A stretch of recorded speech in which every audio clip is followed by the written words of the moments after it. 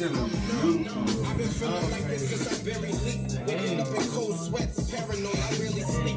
I might be smiling to the public, but inside I'm dead. All I see is bodies, bunch of memories inside my head.